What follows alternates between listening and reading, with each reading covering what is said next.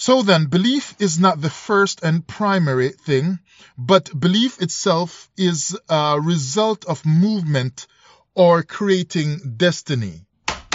Destiny is your predetermined past that was encoded in you that told you no matter what you have to face and what you have to go through, get to 2035.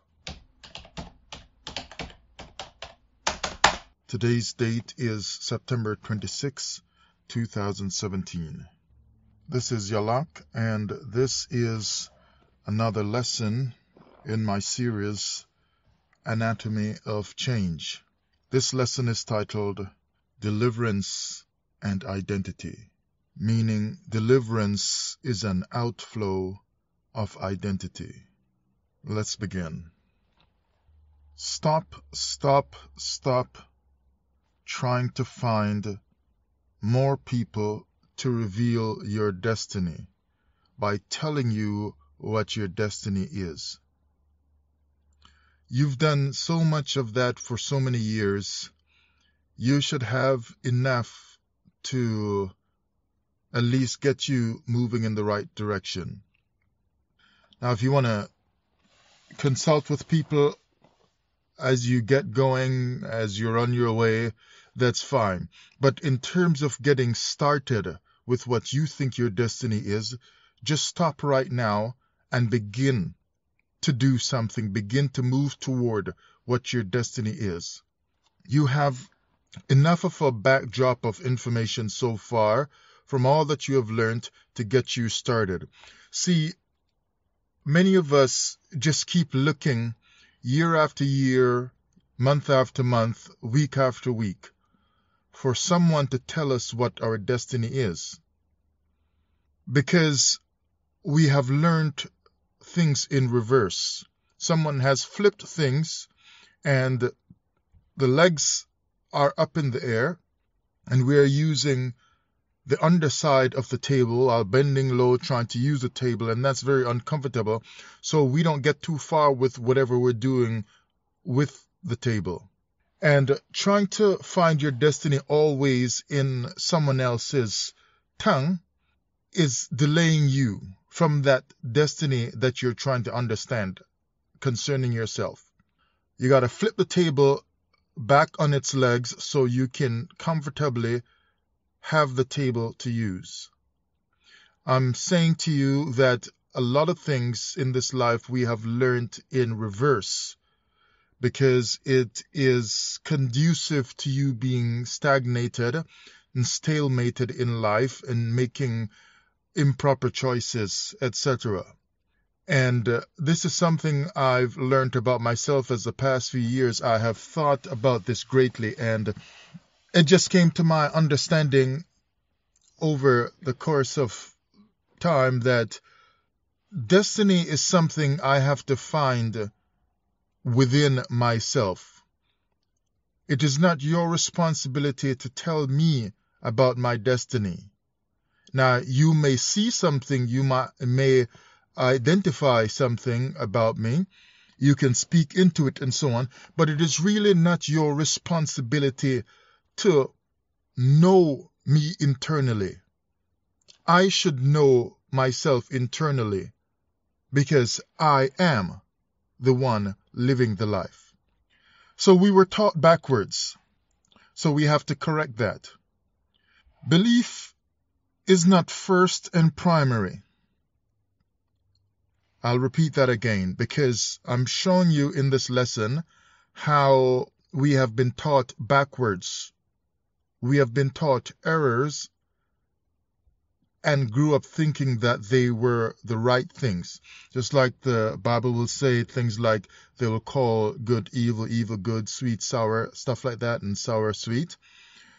Belief, we have been taught that it is the most important thing. Believe in yourself. And I'm not telling you don't believe in yourself, but for what I'm trying to cover in this lesson, you have to understand something about belief that belief is not the first and primary thing when you're dealing with destiny, but belief is a result of movement or creating destiny. So that in order for belief to become the fuel that keeps you going because you believe certain things strongly about yourself and what you will yet accomplish, you must begin to do something first. And as you get going on the way of accomplishing and putting together the things you are doing and you are shaping them up nicely, you can then begin to believe something about yourself and what you are doing. So you begin to do something, you begin to move toward your destiny, even if you don't know it's your destiny to do this or that particular thing.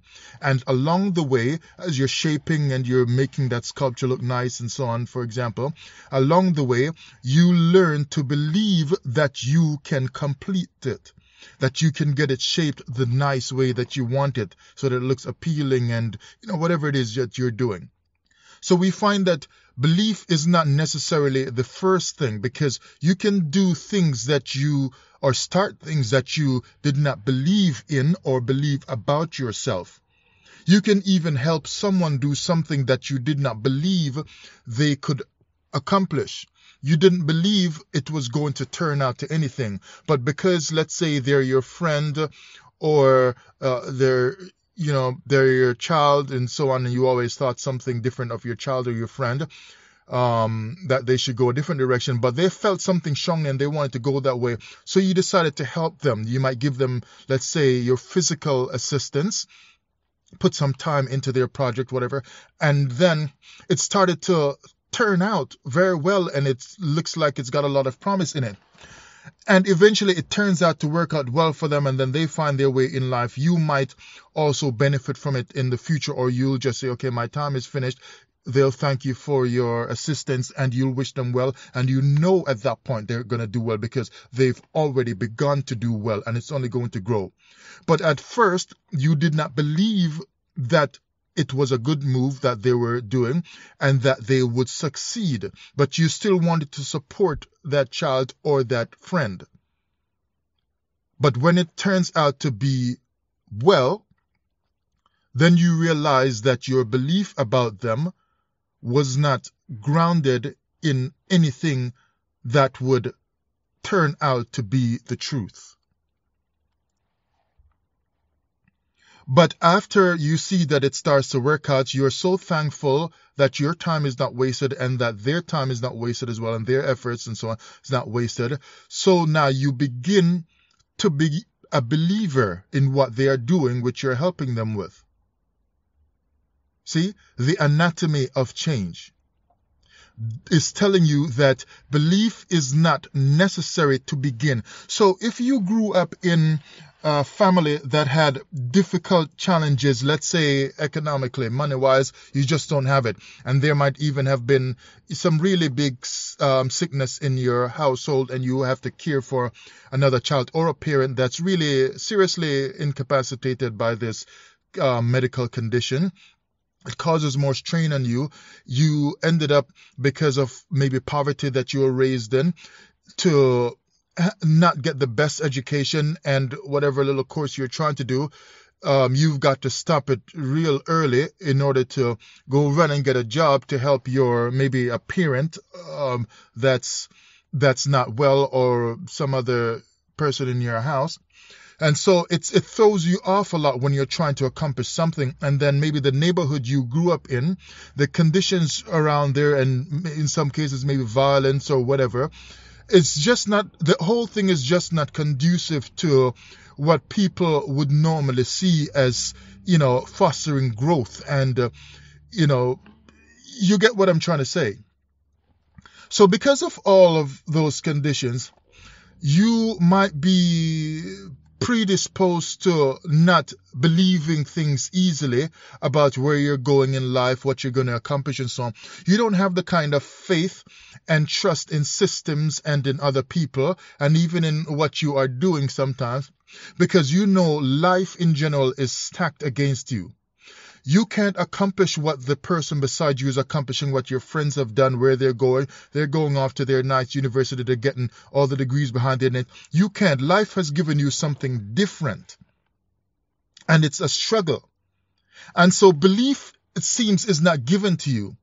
But how is it that people who were in that kind of situation as well, just like yourself, could end up in a lot of cases achieving some things that make the world turn and look at them? And then they help to better other people's lives later on when they themselves did not have much reason to believe from the start. So if they did not have much reason to believe and didn't believe something that they were doing, but they were just going along with the process. If I'm breathing, I must work. If I'm breathing, I must try. So they just went on to doing something and then it worked out. But they did not believe. They did not have belief at the start because of how life was stacked against them. But somewhere along the way, they were diligent enough with what they were doing until it started to work out, and then they began to believe something about themselves. Hmm, if I continue this, it might actually work out and I can add this to it and build this on top of it and offer this other service along with it and so on and I can reach a lot of people with this and whatever and I can get lots of customers from this while helping to better people's lives so on. But they didn't believe at first but belief came later on. Why? Because they were doing something and out of that doing toward a destiny which they did not know they had before but they were simply moving toward that destiny in an might I say unintentional intelligible or unknowable kind of uh, way. They didn't know was something that was going to be part of what they're here to do. But they moved towards it and then believed in the middle. That means belief is not necessary at the start, and even knowledge of your destiny is not necessary at the start either those can come later on. Belief and knowledge of what you're supposed to do can come later on. The important thing to understand in this lesson is that you must begin to do something. It's better if you do the thing that you're really here for, but if you're not sure, it's better to try something. Get up and do something. Begin to move. So the first thing is not to be concerned primarily about belief, but about getting something done. And this is how you're going to change your life. As this series is titled Anatomy of Change, you're going to move into changes in your life, no matter what's stacked against you, because you begin to do something. Remember the story of Joseph, how Joseph was sold by his brothers, ended up in prison. He was a slave. But then he rose in the prison to doing things that other prisoners around him weren't doing. So he was rising to the top. So he was in the top in his dream that ended up getting him in this situation. He was at the top in his dream. He was at the top in his mind of where he, according to where he thought he would end up by what his dream told him. And it began to show itself even when he went down in this life and was a slave and was in a prison, that upness in his thought and that upness in his dream still saw him rise and get up in the prison above some others who were probably there before him. And he began to be the go-to man in the prison and in Egypt for dream interpretation and divining because the Bible says he was divining. So you've got all the other diviners that were in all their professional um, cults or movements or religions in a place like Egypt that was so strong for all of that religious kind of uh, stuff. Yet he, not being accomplished in that way professionally, rose to be the sought out diviner that stood out above the other paid professional diviners who already had the blessing of the king, the Pharaoh. And notice that he ended up getting his dream because he moved in the area that was inside of him waiting for expression. The dream interpreting, don't you know such a man as I can divine? So he is basically now taking on the task to, to seek the Most High for the interpretation of this or that particular dream. So he begins to do something. He could not see clearly his way out of prison, his way out of his predicament, and his way into the dream. He just knew he got that dream that the Most High was going to elevate him. Um, but here is a challenging situation in his life where he went downhill. And so he did not have uh, he did not have full belief that he wanted to say, I know I'm getting out of this place next month. But with that lack of belief that would not give him, uh, show him the way to get out, he just did something. He said, I can interpret that dream. And he moved to doing something that was in him. You've got to do the thing that is within you, even when you don't have much reason to believe, when you don't have the friends around you, when you're cut off from family, from your children, from the kind of job that you wish you had, from everything. You have to do the thing that is within you, even if you don't have reason to believe or people to direct you. The direction is inside of your very heart. So then, belief is not the first and primary thing, but belief itself is a result of movement or creating destiny. So then, belief is not the first and primary thing, but belief itself is a result of movement or creating destiny. Consider that, uh, you know, I thought this morning a warrior does not first need to believe he is a warrior, like Hollywood movies make you think. I need someone to teach me how to do this, how to express this, how to bring out the force and whatever, and I need someone to whatever. Uh, a warrior doesn't tap into that belief first because he needs all the the training and the people around him to support him and to tell him, yeah, yeah, yeah, you can do it and so on. You know, when you are faced out in the wild with a wild animal, you don't need people to sit and school you for a couple hours how to deal with that animal that's right in front of you.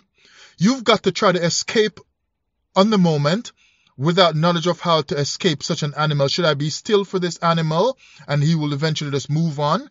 Or do I make sounds that will make him run? Or do I fight? Or climb up the tree for this? You can't go through all of that. Right there in that moment, you're going to make your decision based on you, whatever is going through your mind. And you might decide to fight back.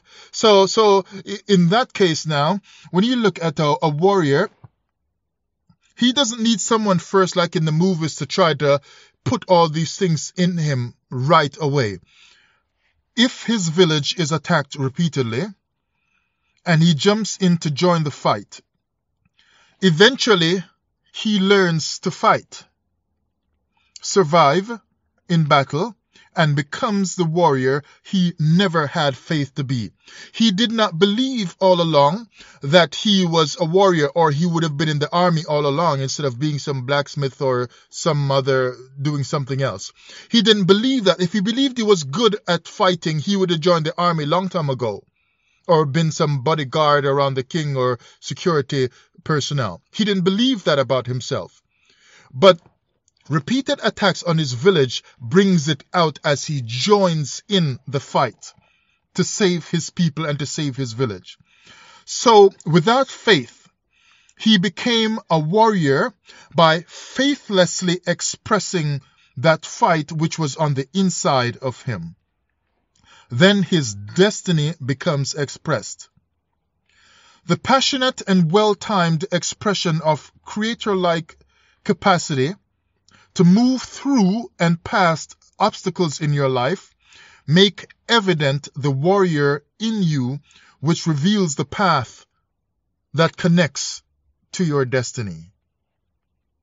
Destiny, then, is not simply to be seen as a, a, predetermined future, like the dictionary might tell you something about a predetermined future but rather destiny should be seen as a predetermined past. See, anatomy of change tells you you need to change your mind in order to move into the changes in your life. So when you change your mind, you begin to move toward your destiny. And it brings eventually your deliverance. And then you find out that you didn't just move into your destiny and the changes in your life by simply praying, praying, praying, and just believing, but you did something. You moved toward your destiny. You moved toward a certain point from where you are right now. And that moving towards it is the expression or builds the expression of your destiny. That was predetermined and not a predetermined future, but rather a predetermined past that was encoded in you. Destiny is not something you are going to find out about later when you get there. Destiny is encoded in you in the past when you were created by the Most High, and you are just moving forward and learning how to express that which was put in you and predetermined in the past. Rewrite the dictionary. So deliverance and identity is saying that deliverance is an outflow of identity. When you begin to learn your identity and express it, even before you can fully express it, you express it in smaller ways as you learn how to express it. That learning to express your identity brings your deliverance or the change that you need in your life so that deliverance flows out of the expression of identity. When you become who you should be in this life, changes happen in your life or the deliverance you seek comes into your life and flows over into the lives of other people around you. So destiny is a predetermined past that was built into you. Just like I think it was Job that said, he performs the thing that is appointed for me. Well, those things were, you know, I, used to think when I was younger that that's something about the future. No, it's something about the past. That's why in Jeremiah 6:16 the Most High says, "Connect with your fathers of the past, stand in the ways, the old paths, and see." Right? And other scriptures say stuff like, "Ask the fathers of the past." Why? It's something about your past that you need to connect with. In order to go toward your future, you must look in the past.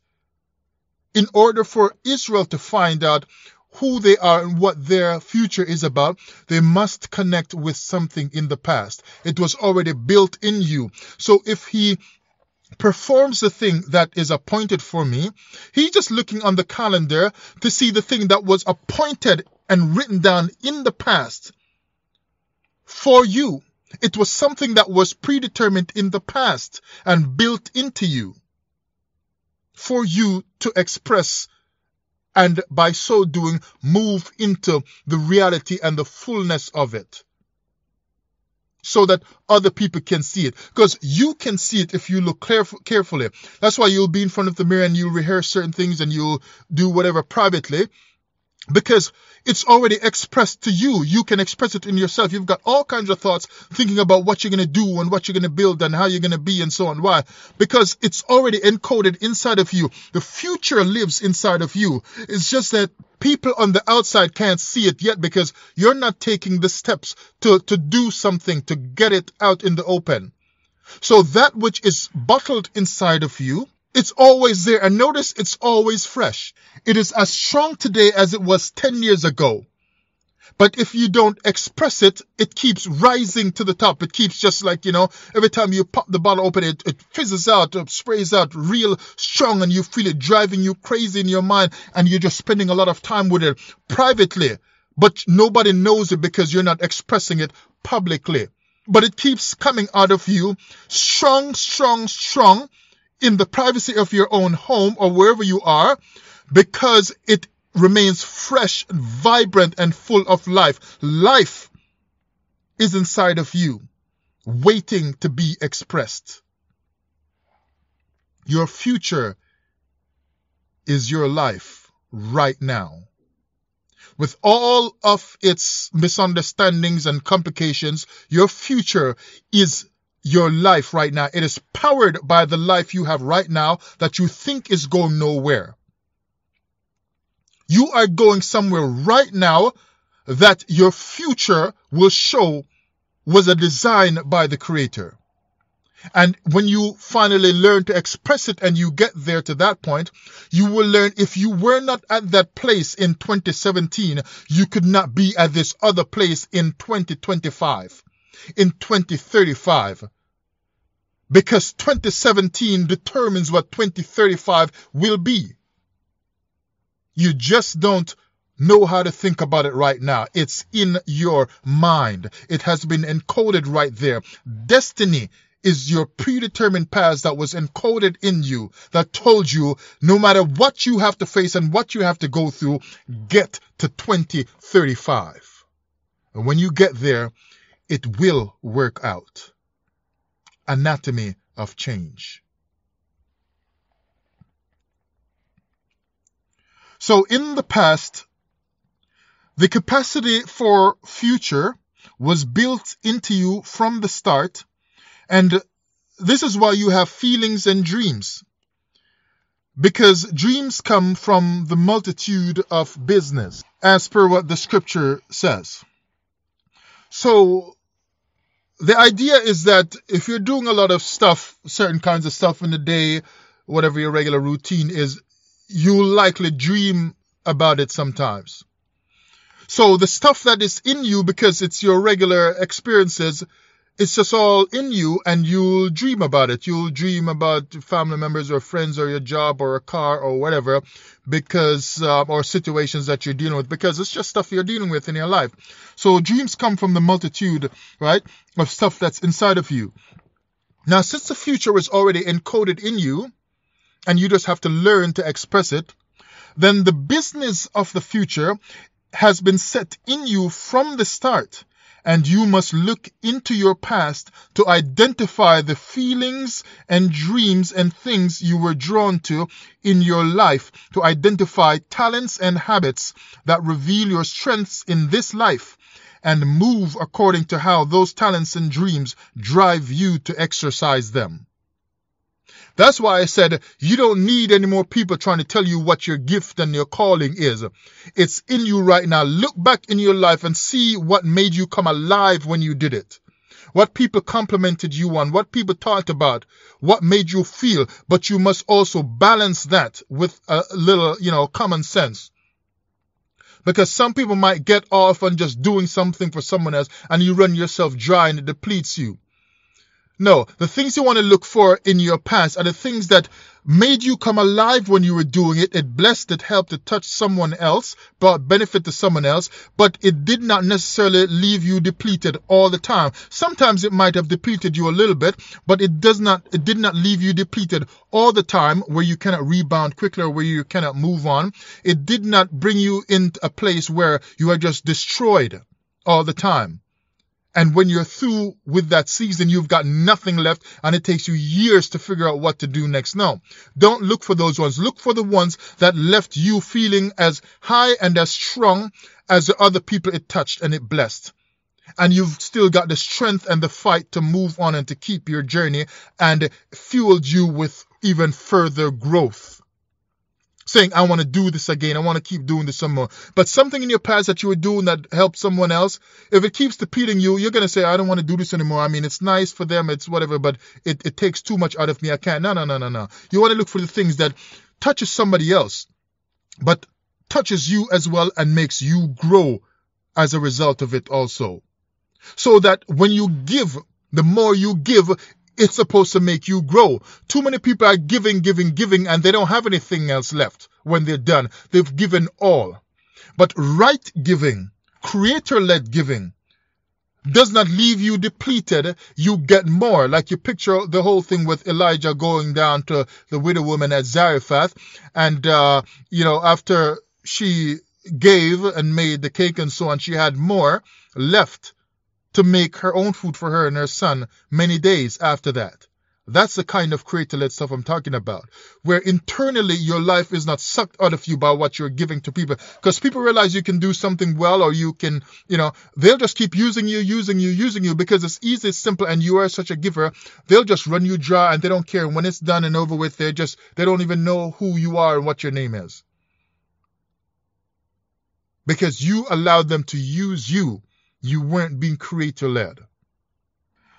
Destiny then is uh, expressed with the Hebrew word sum, which means to ordain, as in First Chronicles chapter 17 and verse 9. And it says, Also, I will ordain a place for my people Israel, and will plant them, and they shall dwell in their place, and shall be moved no more. Neither shall the children of wickedness waste them any more, as at the beginning. When you look at this word, ordain, it means, that's the word sum, it means to put, place, set, or appoint. Like I said before, it's it, destiny is a, not a predetermined future like the dictionary will tell you if you look online, but it's rather a predetermined past. If it's pre, then it has to be from the past. But you express it in the future, so people get a little bit confused by the definitions and, and misunderstand things and think it's something I will do when I get there or when somebody helps me. No, it's when I realize now who I am and what I'm about and what is inside of me and I express it now that other people will get it later in the future. I'm already getting it now because I already had it all along. I already had the stuff in me. It's just that in the future, people will realize that it was for them as well that you were gifted for them as well. So this word here, ordain, again means to set, ordain, establish. See that establishing, why? Because it was something established or set in you from the past. To appoint, constitute, make, determine. So he is determining your future from the time you were made.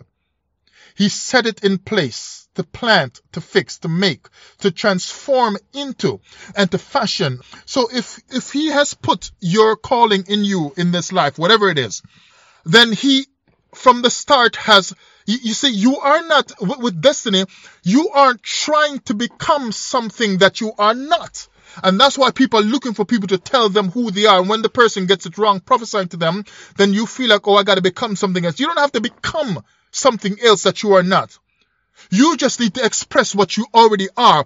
So destiny now is saying from the scriptures that you are ordained a certain way. So he has set and fixed you to be a certain way from the start. So he has transformed you into the thing that you will learn to express later on. So you will not become the notable business person later on.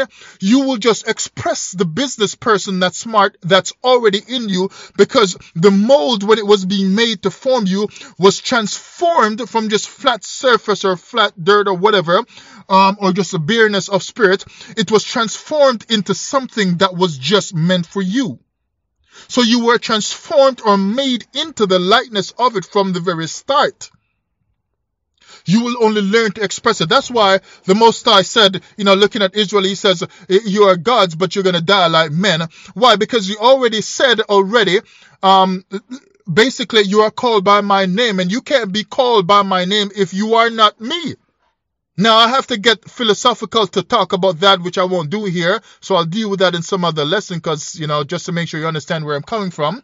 But the scripture also says he made man in his image, male and female created he them. So if you are made into the image of the creator, then you are already made to be something.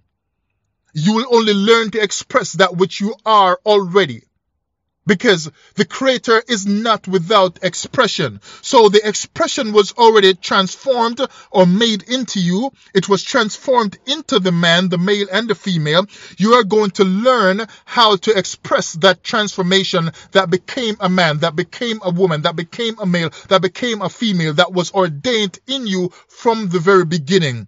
It is about a predetermined past and not a predetermined future. The determination is of the past, but the expression is future. Because there's no way as a newborn infant that you're going to express all that was put in you and ordained from the start. No, you're just an infant.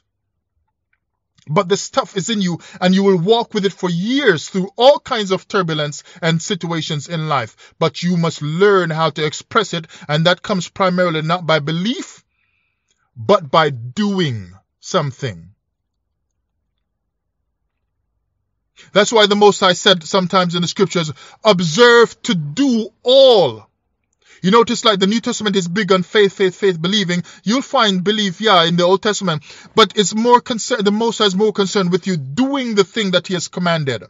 Observe it so you know it and you, you understand what it's saying and then you do it because doing gets you to express the thing that you have studied, that you have learned, that you have inside of you. So observe to do, and then you will express that which you are already made as. And so when Israel was not expressing the Israel that it was made to be different from the other nations, he said, okay, they're not expressing the thing that's inside of them, so they aren't living as what I made them to be anymore. They've become something else. They're now heathen to me, so he kicked them out. But notice he's made a promise to bring Israel back. Why? Because if the stuff is in you, it has to be expressed. That's why the wicked continue to be wicked because they are estranged from the womb. So they just live it out. The stuff is in them, so they just find a way to bring it out. The, the verse again says, And I will ordain a place for my people Israel. See that? From the start and will plant them, and they shall dwell in their place. And they were already dwelling there. That's why they could get kicked out because they were already dwelling. It was something that was already ordained, it was set from in the past. Ordained then from the Hebrew means to set in place from the start, to appoint. So you will live based on what was set in place beforehand and it directs you into the future. The stuff that you are going to use to express is inside of you. Nobody needs to give it to you. They're telling you all these years, believe in yourself, believe in yourself. And it's not that believing in yourself does not work because it's good if you do. The problem is some of us cannot get the changes we need in this life because not all of us can figure out how to believe. See, belief is something where I can tell you about it. I can tell you that you should believe, but I cannot make you believe. And so if for whatever reason, based on how your life has gone, you cannot learn how to believe certain things, especially when it comes to things about yourself, because sometimes there's some things that we deal with so deep and so internal, like an internal struggle, a tornado inside that does not allow you to access the proper things about yourself, to pull on that inner strength. Because 2035 is waiting. You cannot simply sit around for another 15 years trying to figure out how to believe something about yourself that will help you to get to 2035. You have to just bypass the belief that is not working right now and begin to do something and that doing of the thing that you are engaged in will jumpstart your belief kick in your belief into proper gear when it when it gives you access to it. It will show you a route to get to a different way to get to your belief, which will be further fuel for what you are doing. Doing things will connect you with that inner part of you that you can't access right now. It will change your life. It will change your mind. People will say, is that the same person? Of course it is. I just started to do something one day that I thought I should never do because I didn't have enough belief. I didn't have enough training in that area. I didn't have enough support. Even inventions of certain things are made by people who never saw anyone made that particular thing before. No one invented this or that before, but somebody got up and did it. Some inventions came about not because someone believed this particular thing could be made. They were probably just doing something else, tinkering with something else, and realized, wait, if I do this, something else can come out of it. Then all of a sudden, yeah, something else came out of it. And Now it's a big thing worldwide. So they did not believe at first to make that particular thing, but it just flowed out of them. So by starting to do something, they created something they didn't even believe or think about at first. You're creating A and you ended up making B, C, and D. The struggles you go through that you cannot change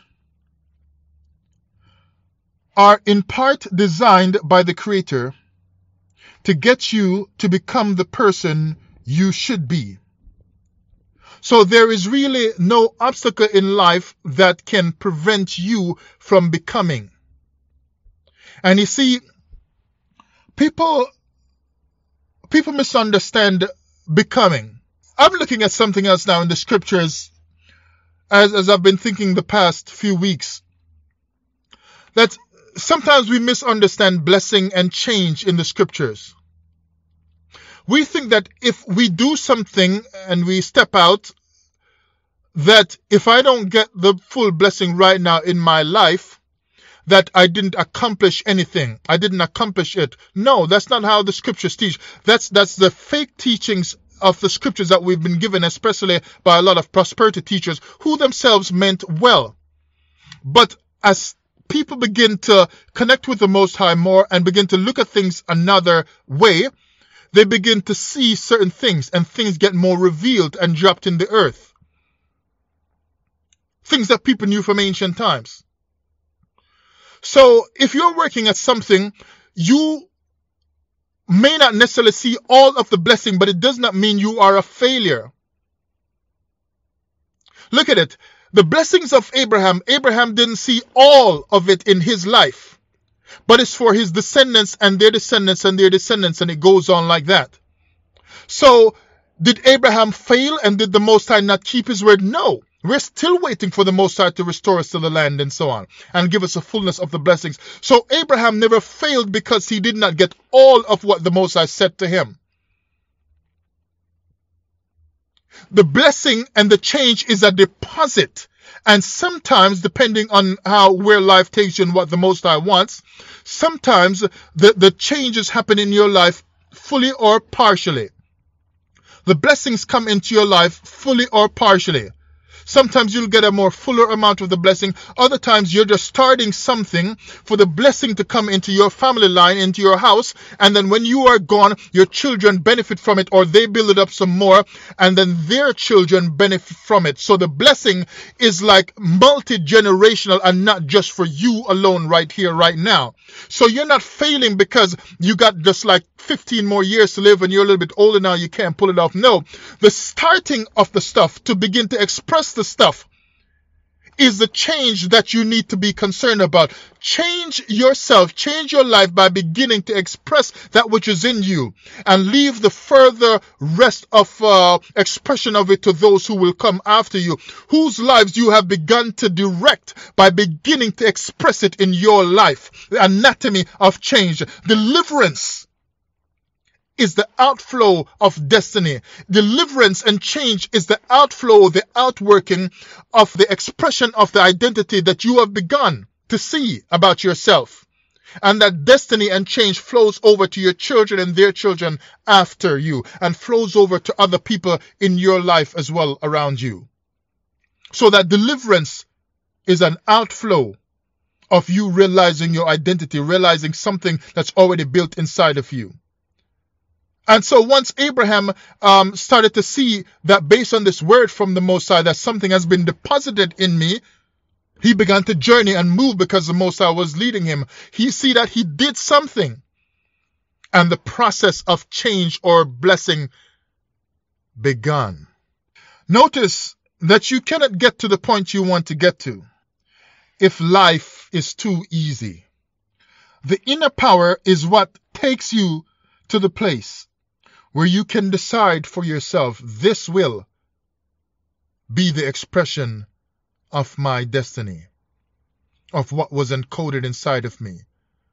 And you learn through difficulties to express the thing. You're like, oh, one more trouble I gotta go through, one more problem I gotta go through.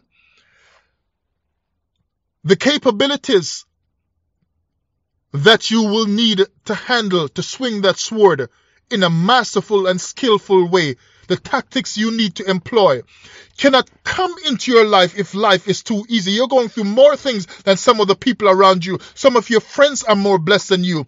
But that which you will execute on this earth, but that which you will execute on this earth, you will not be able to do it when you get to that point when you should do it if you did not learn certain skills and how to exercise certain things inside of you, if you did not go through certain other problems in your life that would teach you how to call on that inner strength and the inner recesses of what the Most High placed in you for that time when you're looking to use it. It gets built into you by the things you go through. You ever watch movies where some people are chasing someone else and this person they're trying to capture the person the person let's say the person didn't do anything but they thought they did they stole something or whatever um or they thought they killed someone but they didn't and they're like hey i didn't do anything i didn't. Now now the person that's being accused starts to run because they know these people are going to kill me. I got to find a way to prove that i didn't do it because i didn't do it. They know the only way to escape is to run. But people keep being sent after them every time they send new people because if they spot the other old people that chased them last time, they keep sending some new people that they won't identify quickly. So if they're walking by them because they don't know these are new people sent, they they they don't have their guards up, so they'll walk right by them and then they'll grab them. But if they send the older people that chase them that they already saw, they would just stay far. But as they begin to chase again now, this person runs, runs, runs. They go in this apartment building. They jump from here, there, jump from one building to the next and whatever. And the people chasing them just stop at the edge of the building, for example. And they can't do it. Why? They're not used to doing it. But at the time where it became necessary for them to make it through that point in their life and not have their life end by the people coming after them to capture them, their their their ability to make that jump carefully comes out of the many other troubles that they had when they had to run from the others. And so now by this time they are used to jumping that distance. They know how um, quick to jump, how how strong to jump off, where to place their foot, how to land and to land properly so that they can still get up again and run immediately, as opposed to just somebody who will just jump and can't get up because the shock is running through their foot, their ankle, everything, their whole body. They got to stay down there uh, until the people catch up to them. So the past troubles help them to learn how to escape in the future and to get moving even further until they can prove whatever they're trying to prove.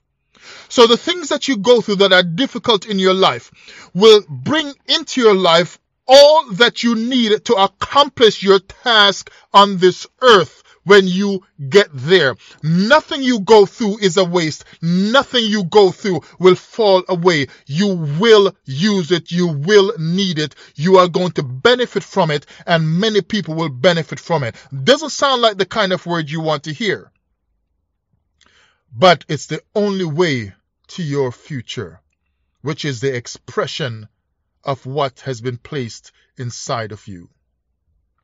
Because that future is something you have already lived. All the places you're going to stand, all the things you're going to do, you've rehearsed them privately to yourself for years. You felt it just like, you know, like surging in you all along because, yeah, I know I, I can do this, I can do this. You've already lived it. For you, it's not, it's not future for, for, for you to know something about yourself future in that sense is just for people to, to, to see and witness the expression of it so they can benefit from what was the past that you connected with all along in your heart. Other people may take advantage of your struggle and the difficulties in your life and even make things harder by trying to block your path, making life harder for you and uh, may even deceive you because they are dispensers of evil. So the Creator uses all, and He uses them to exude evil, because that is the level to which they have chosen to develop themselves. So sometimes people are just going to take advantage of you just because they know you're going through a downtime and they can do it. You see, that person is not changed by the Torah. That person, they're like a low level soul, a low quality soul and they sit there and devise ways to come at you. But keep steady, keep moving, do your thing, never back down, never waver, do it on your worst day, But of course, take a break every now and then, kick back and relax and rejuvenate and enjoy. So you're, you're learning to balance yourself as well. Isaiah chapter 54, verse 7 to 8. For a small moment have I forsaken thee, but with great mercies will I gather thee. In a little wrath I hid my face from thee for a moment, but with everlasting kindness will I have mercy on thee, saith the Most High, thy Redeemer. So this is talking about Israel's downtime. But the Most High is like, in the future, there's going to be everlasting kindness coming to you. But when he hid his face, other people who are evil to Israel decided to take advantage. Just like I was saying before, people are going to take advantage when you're at a weak moment in life, an unguarded moment in life, or things just went wrong or something like that. Sometimes things that go wrong is just trying to get you to take another bridge, or teaching you to build this bridge, or teaching you to get yourself across the water anyway, even if there is no working, functional bridge because life is like that where you need when you start to express your destiny and you move into the fullness of it you will know sometimes how to move through places where there are no bridges. Because the bridges have not been built at that place yet or have been broken down. But because struggles in your past made you have to encounter places where you needed to cross where the bridge was broken down, you now know that this will not stop you from expressing your destiny, your identity, because you've had to deal with broken bridges in the past and you made through them anyway because you never stopped expressing that which was on the inside of you. So faith then comes from doing things and you learn what faith is. Faith is doing the thing that seems like it cannot be done. That's what faith is. He was a man of faith, yeah, because he did something that other people said can't be done. Or he did something that seemed was too difficult, but he got it done anyway. He worked hard at it. Faith is doing. But they taught us faith is about believing, sitting on both your hands under your, your thighs, praying and waiting, rocking back and forth in the chair, wondering if God's going to, if God's going to, if God's going to. Most is wondering if you're not going to. Move into your destiny by expressing your destiny right now, not in 2035, right now, expressing it right now, not waiting until you can fully express it, expressing it in small ways today, right now. Begin. Because you are not becoming something, you already are. It's like bees don't just sit around waiting for people to just make up a beehive for them or waiting for a bear to make a, a beehive for them. Oh, okay, they said the bear and uh, whatever else out there that eats the honey wants the honey, so the bear is going to just come by and take a few hours every day and make up uh, the honeycomb uh, and the hive and so on for for the bee to deposit the stuff inside of it, the honey. Bear's not going to do that. So if the bear's not going to do it, the bees will have no place to drop the honey. But if they want to drop honey, secrete it, they got to make the stuff for it. So don't be waiting around for somebody who's going to benefit from what you do to come and make your future, to make your. No, you already are. Just begin to get your job done. Make some movement now. And you make the movement by expressing who you are regardless of what they say. People always try to bottle you down, push you back, tell you you can't do it like that, you can't say it like that, you can't whatever. There are no rules in this life except be you. You are the image. In the image of the Most High made he them male and female. Express the image. And you notice when the image was dropped right there in Genesis chapter 1, in a time when the Creator was doing all kinds of creation, is telling you that your image is about creating things in this life. Create! the opportunities to express yourself. Create it. Do it right where you are, and you don't need a dollar to begin to express it.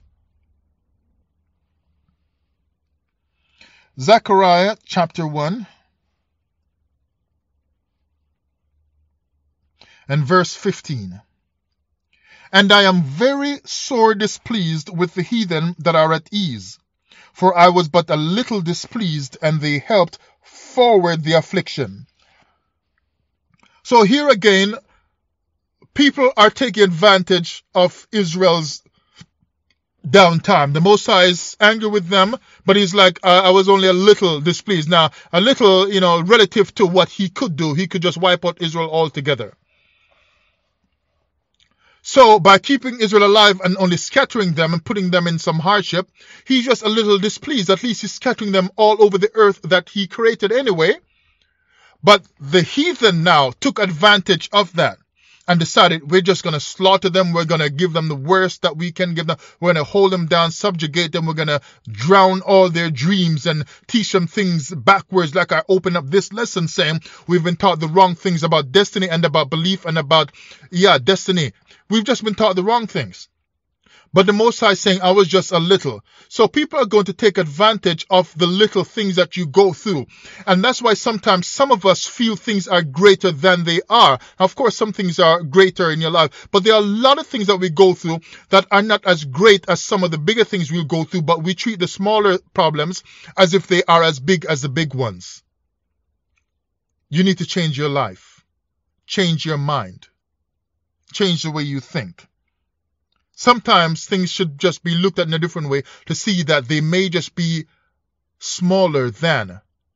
And that way, you can release your creativity, release your expression. Because when you feel that everything is so big, it squashes your expression. You don't want to do anything towards your, your goals because everything is too much of a weight for me to carry. But if certain things are small, you can have some relief and learn to express yourself and then tackle the bigger ones when the time comes, when you'll be even more prepared because destiny has moved you to the place where you've built up enough strength to take on the giant. Notice David didn't take on the giant before he fought the bear and the lion or when he was just a very small child. But as he grew and he learned to fight and he learned to take on the bear and the lion and so on, as he grew and he learned to use his weapon, his sling, and, and as he learned to, to wield it, to swing it, to get the proper aim, which took years, as he learned to be, um, to, to express that fighter in him with only a sling than becoming powerful with a simple, small, basic type of weapon that a child can make a slingshot. As he began to be expert as that, he could take down something much bigger. If you begin now to express what is in you, you will move past the greater obstacles in your life that prevent you from what you think your future should be about. You got to start today. So sometimes uncertainty is where you are led. But this is where faith is found out. It's in your time of uncertainty when you still learn to express and you learn that nothing should stop me from expressing what is inside of me. Book of Habakkuk chapter 1, verse 1 to 3. It says, The burden which Habakkuk the prophet did see, O Most High, how long shall I cry, and thou wilt not hear? Even cry out unto thee of violence, and thou wilt not save. Why dost thou show me iniquity, and cause me to behold grievance? For spoiling and violence are before me and there are that raise up strife and contention. If you struggle with understanding faith and think you have doubt, you can't pray it away. You must move forward in order to move away from it. Doubt indicates you are faced with walking a path you don't know about. That uncertainty is just uncertain to you because you never had to deal with it before. But how can you say your destiny will let you move into certain changes in life, certain things, and you don't want to go down uncertain paths? Oh, uncertain paths, uncertain times in life. Oh, God has cursed me. You wanted greatness. You wanted uncertain things that no one else in your family was ever certain about because they've never themselves gone down that path or been into that era of life. So obviously, if it's going to be something new that you are going to bring in, it's got to be uncertain because you've never walked the path before. Uncertainty is not necessarily a curse. It's just a way for you to express something different that the next person beside you may not be able to express because it was not given to them. Uncertain, but still expressing. Unsure, but still moving. Haven't figured it out fully as yet, but I'm already doing it. And so here, Habakkuk, he's got all these questions for the Most. He can't figure out, especially being a prophet. He's wondering why the Most don't respond and so on. But that does not stop him from being a prophet and from continuing to feed the children of Israel. In spite of what is uncertain in his own life, in spite of what he does not understand, what he does not know, he does not allow that to rob him of anything. He still moves forward you and I have to do the same. So it is not necessary to be delivered first in order to find your identity. Because as I started out saying, deliverance is an outflow of identity. So you don't have to be delivered first, but expressing your identity and who you are brings the change and the deliverance that you desire, that you pray about, that you twiddle your thumbs over. You should, however, use all your efforts to become your identity or to express it, and deliverance comes out of that. Let's look here at Zephaniah 2, verse 1. Gather yourselves together, yea, gather together, O nation not desired. Verse 2 Before the decree bring forth, before the day pass as the shaft, before the fierce anger of the Most High come upon you, before the day of the Most High's anger come upon you, seek ye the Most High, all ye meek of the earth, and so on. But he starts out telling you to gather together. Because if Israel is going to gather together, in other words, they're going to return now with one heart toward the Most High, they are reconnecting with their identity. Why? Because the Most High knows, as the Torah is showing, that your deliverance and your blessing and your change comes out of your identity. So finding and reconnecting with your identity, Israel, brings the deliverance that Israel is seeking. But instead, we're sitting and cursing the white man, cursing this other man, cursing the African man, cursing the Chinese man, cursing everybody. When the scriptures is just teaching you that if you gather together, if you come back to your identity, your deliverance comes from that. And you don't have to walk around be cursing and fighting with everybody and being afraid of them. Because your identity actually relinquishes your fear. It, it dies down, it kills down your fear. When you are not walking according to your identity, you become more afraid in this life. People come up against you all the time. You're trembling. You don't want to do anything anymore because you can't, whatever. But your identity, when you're moving in it, it kills your fear. It puts it under your feet. That's why great people stand up and do a great thing in this life because they are moving in what they feel driven to do in this life. They have found their identity, they have connected with it. And like someone said, I can't remember who said it, but something like, um, when you are walking in the shoes you are made to walk, you will become fearless. So the Most High says, gather yourselves together. In other words, become knowledgeable of who you are. Do something about that identity that has been placed inside of you. Become you again. Become yourself. Reconnect with it. Because your identity leads to your deliverance. So it is not necessary to be delivered first to become something and to become what you want in this life. It's not necessary to get the change first, although that certainly would help make it easier in some ways. But you can become what you are by expressing it. But you can express what you are, and that expression of identity brings your deliverance. But when you don't express what is inside of you, that's when you're going to be squashed by those around you and by the situations. Because everything in this life is going to press you down, beat against you, back you up against the wall, pressing you into the wall, so to speak, and just like squeezing the life out of you. But when, and you don't have the power to resist, but when you begin to express your identity, and in the image of the Most High made he them male and female, that image of creativity, that image that can sustain, that image that will give new life to, that image that will work out problems. When you begin to express yourself, you find the strength, the power to raise up yourself, push yourself off that wall. And the haters can't do a thing but watch you and wonder, this God must be real because he inspires some people to move on in spite of.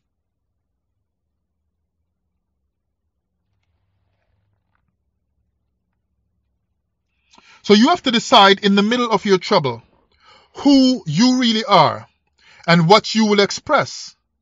Because you will not only become that, you are already that, as I've said before, as you cannot express the future uh, of who you dream to become if you are not already that. You can't express anything you are not. Can you be a father if you are not a father? You can say, hey, kuji kuji koo to somebody else's baby, but you cannot do that to your, uh, and express being a father to your own child if you never had a child. You can exp only express who and what you have been designed or ordained to be, predetermined to be. Let's look at Isaiah chapter 52.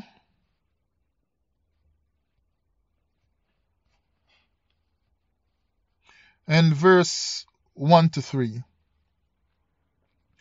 Similar to Zephaniah 2 verse 1 I just read, but it says here, Awake, awake. Put on thy strength, O Zion. Put on thy beautiful garments, O Jerusalem, the holy city. For henceforth there shall no more come into thee the uncircumcised and the unclean.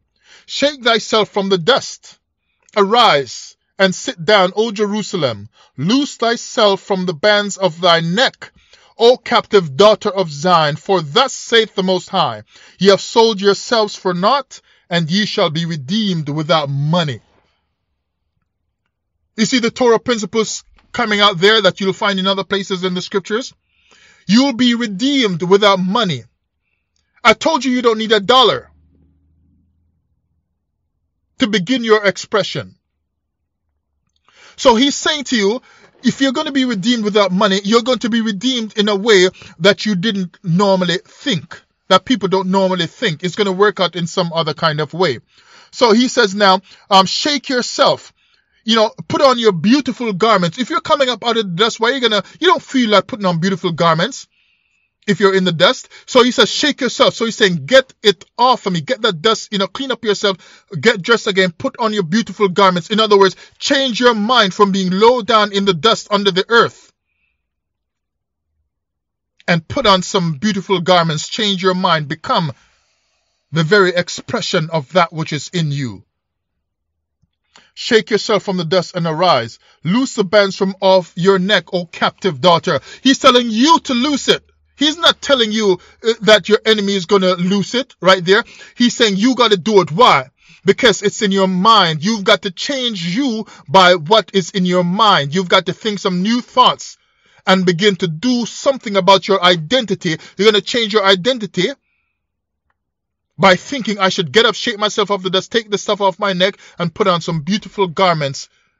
It will beautify you, strengthen you, make you become what you should be. So you then have to express what is in you due to an inner voice of the Most High that speaks to you. So if you don't express, destiny may never work for you. It never builds things for you, but expressing it will find things get built into your life.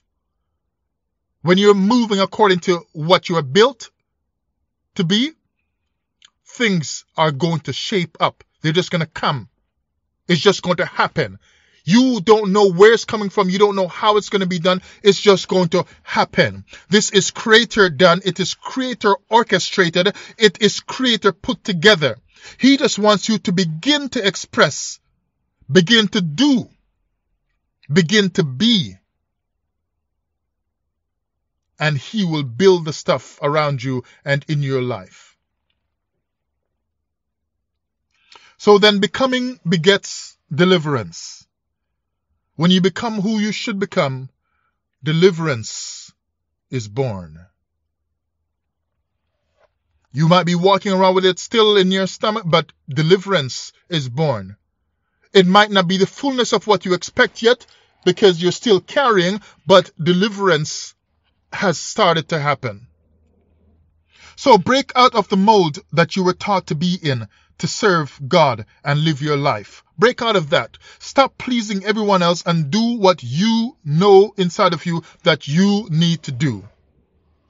Joseph didn't say in the prison, um, okay, well, maybe I, I, I interpreted your dream for you, baker and butler, but the king now, you want me to interpret for the pharaoh. The pharaoh will take my head if I, if I can't answer him or if I give him the wrong thing.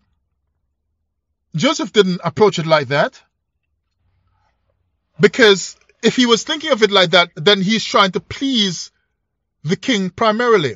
And if he thinks that he cannot please the king because, oh, I'm not used to living in Egypt, maybe they think different around here. The dream might mean something different right here in Egypt. So my symbols might not quite work and whatever. Then he's only trying to please, please the creator. But no, he's pleasing, sorry, he's trying to please uh, the Pharaoh, but he is pleasing what is inside of him. He's pleasing the Creator by pleasing himself. How does he please himself? By exercising the gift that is within him to divine, to interpret the dream. He knows he's good at it inside of him. He has practiced it all along, all these years. That's why he could tell that the dream was from the Most High, right? When he interpreted it for his family, that he's going to be set up above them and she's bowing down to him and the sun and the moon and so on. He could already interpret the dream for himself in his own house, in on his own bed, because he's already been practicing the stuff internally. Remember, I told you throughout this recording, you have already been expressing the stuff inside of you and living it inside of you. You just need to now express it outside so other people can see it and benefit from it.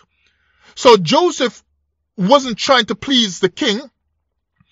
He's just doing what he has always done to please himself. He has always interpreted stuff for his own self. And it always brought him, you know, internal benefit where he could grow with the gift inside of him. But the Most High was going to let him grow externally later on when the sheaves are seen to bow down to him. So right here now, when the Pharaoh has a dream, because he's not a people pleaser trying to concerned with pleasing the Pharaoh, then he doesn't have need for fear. See, if he is trying to please the Pharaoh, he might feel, oh, the Pharaoh, I can't stand in his presence and do that, or I might get it wrong, and that might cause him to doubt and give the wrong interpretation, or just be blocked up, stopped up in his mind and can't interpret. So he's not trying to live by fear because and pleasing people because that stops up his creativity his ingenuity, stops his essence from flowing. But instead of trying to be a people pleaser and please the Pharaoh and not to disappoint those who are bringing the message to him that the Pharaoh wants to see him, instead he's going to please himself. I love utilizing my gift. I do it with myself on my bed all the time. I love doing this. That's why I offer to, to, to interpret for the baker because I love interpreting. That's why I offered to do this for the butler because I love my gift. Internally, I love it. I've been exercising and practicing it all along. I'm just going to do this for the Pharaoh now, not because it's the Pharaoh, but because I just love it. If somebody had asked me, I would have done it because I proved that by just doing it for the baker and the butler. So his love for his gift made him express the gift for the Pharaoh because he was centering on his self, on himself, his own gift. He was practicing it and doing it all over again. So he wasn't trying to please the Pharaoh. Stop trying to please people and do it your way. Do it the way that you feel it and sense it in your heart when nobody is looking. When you're washing the dishes and that's how you feel it, that's how you think about it. Go out and do it the same way because that is where your creativity and your power comes from when you're not trying to please somebody else, but you're going to do it your way. Stop trying to please your pastor. Stop trying to please your more, your camp leader. Stop trying to please your boss. Stop trying to please everybody else. Please yourself for once in your life. Do something for you and become you and express the image of the Most High. For in the image of the Most High created He them. Express that image that has given you a gift to express in this life. Now we move on. Change is really to reject sameness. Start doing something different. If you if you're sitting there waiting for someone to tell you what your gift is and so on, start doing something different. Because all you've been doing, if it hasn't shown you yet, you gotta try something else and see if your gift might come out in another area. So reject sameness, reject being a clone of what others are and what you have always been. Let's run over to 1 Kings chapter 8 and verse 47. Yea, if they shall bethink themselves in the land whither they were carried captives, and repent and make supplication unto thee in the land of them that carried them captives, saying, We have sinned and have done perversely, we have committed wickedness, and so return unto thee with all their heart, and so on and so forth. So basically, he's saying, if they bethink themselves in the land where they are captives, then Israel is going to find a, a deliverance eventually because they're changing how they think. They don't think like the heathen anymore. They don't think and do things the way the heathen or the captives want want them to do. Their captors want them to do anymore. They bethink themselves. They start to think differently now, going back to what was. So they're shaking off the thinking of those around them because it doesn't work anymore. It doesn't make me free. That just keeps me bound. I got to do me. I got to do Israel now. I got to resurrect something from the past that was built in, like I said from the start, because your destiny is already inside of you. It is not a predetermined future. It is a predetermined past that was ordained or built in. It was formed into you. So when you bethink yourself now and you go back, to what you used to think and feel like years ago before the onslaught came into your life, before the, the orchestrated trouble came in from people who blocked your path? When you go back to being you, when you used to feel, when you used to be alive, when you used to think to win, when you used to think you could succeed, when you used to think that you could get it done, if you go back to that, you're going to find the way. When you approach it like that, you understand I may be in a storm. But if I change myself to become what I dream, not what I learned from somebody who's telling me what my calling and gift is in this life, because sometimes people are going to try to be honest with you and tell you something that they see. Other times people are going to tell you something about your future because that's how they want you to serve them and you will always remain that because you aren't being you, you are being what they want you to be. So I may be in a storm. But if I change myself to become what I dream, I will express so much of what I dream that I will become what is in my mind. So Proverbs 23 verse 7 says, As a man thinketh in his heart, so is he. So as you have dreams, that's what you will become. What you think on the inside, you're going to be led to express it. Always taking direction from somebody else is just going to have you express their dreams. You gotta dream for yourself and express your dreams. Express your own identity. Stop being a clone of everybody else around you. Does that mean you never help or assist other people with their dreams or with whatever program they've got going and so on. But in the midst of it all, you must still be you. You must find yourself or lose yourself lose yourself to someone's dream when you should be finding creativity and release and expression according to the dream that's in your heart. For Job said, He seals instructions in you in the night time. Something is inside of you that's been placed there by the Creator. You got to find out what it is and begin to do something to express it, or your change will never come. When you become your identity, become who you are, destiny flows out of that because destiny is going to bring your deliverance. You then have to work on something in your life, increase your knowledge, learn something more or new, figure out ways to express what is within you as who you should be has already been placed in your mind and your deliverance is it, it, it's it's you know it's right inside of you. It's right inside of you and it's, it's based on how you think of yourself.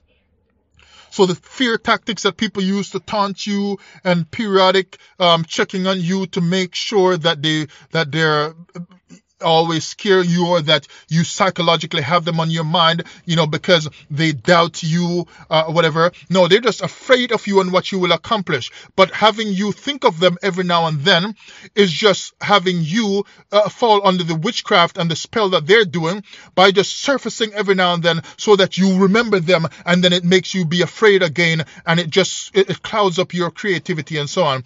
Ignore all those people and do what's inside of you to do. Don't trust other people. Trust yourself. Don't believe others because they may be deceivers. Believe yourself. You've heard it all along the other way. I'm telling you, give a little belief to your own self. Give a little belief to your own dreams. Quit working on somebody else's dreams all the time. Work for you. You are the enterprise of the Most High. That's why the Most High looks at Israel and he thinks Israel is my all. Israel is the portion of the Most High. So what does he do? He works at his own portion. He might have to send them into captivity for a while, but he's still planning on doing something about them to bring them back into the land. Why? Because he's going to get his portion. He's working at his dream, so to speak. You should work at yours too. And if it falls down and your life enters into some kind of captivity for whatever, relational captivity with somebody or whatever, if I can put it that way, or financial captivity, if I can put it that way again, work at who you are and you're going to move past all those things, no matter how difficult it might be, no matter how hard or how long.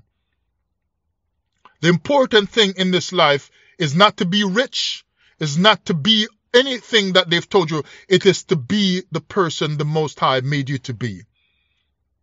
The payback to the Creator to say thanks for sharing life with me, your life with me, is to become what He intended for you to be. When the Most High sees that, that's going to release your creativity and the blessing in your life.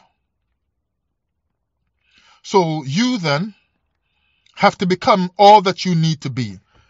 Don't try to limit yourself. Think anything, break the barriers. You have no limits to what you can do. So you are the pastor, you are the camp leader. You are the more.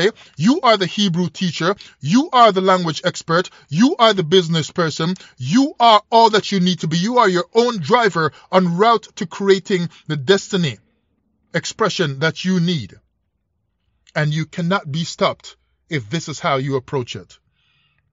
And some of the people hating on you, they're going to look at you and wonder and admire the work of the Most High in you. They might still hate you, some might change, but some will stay the same way hating you because they know this is the leading of the Most High in this person's life.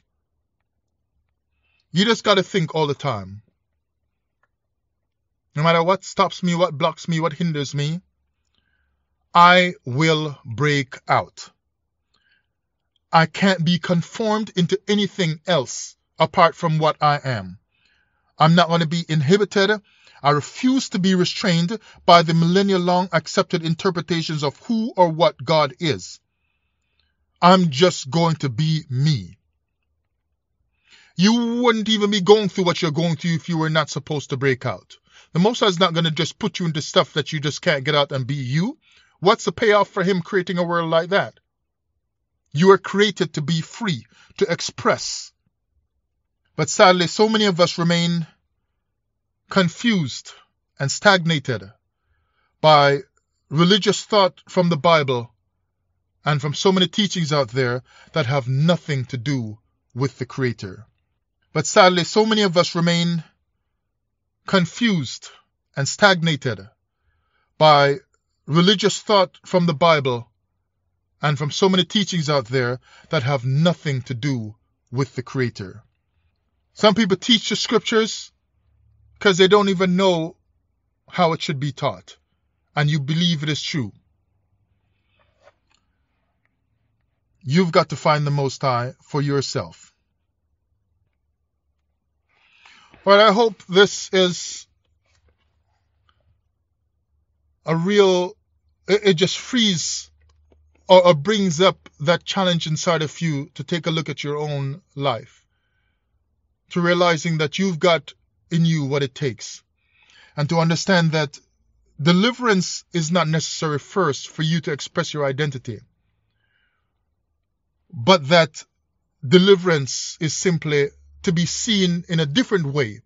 You see, you got to restate things in your life. If it doesn't work for you, forget what the dictionary says, forget what anything says. If it does not work for you, you got to change it because you must live. Just keep in mind that it is not first necessary to be delivered to express who you are. Say, when things get better, I can be me again. No. Identity brings change. Your deliverance is an outflow of expressed identity.